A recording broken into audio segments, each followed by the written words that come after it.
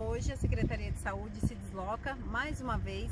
no distrito do Salto da Alegria, onde a gente veio conferir de pertinho essa reforma do posto de saúde, né? Essa parceria aí junto com o nosso prefeito Marquinhos, junto com a Secretaria Municipal de Saúde, para dar toda assistência a essa população do distrito que merece, onde vem sendo trabalhado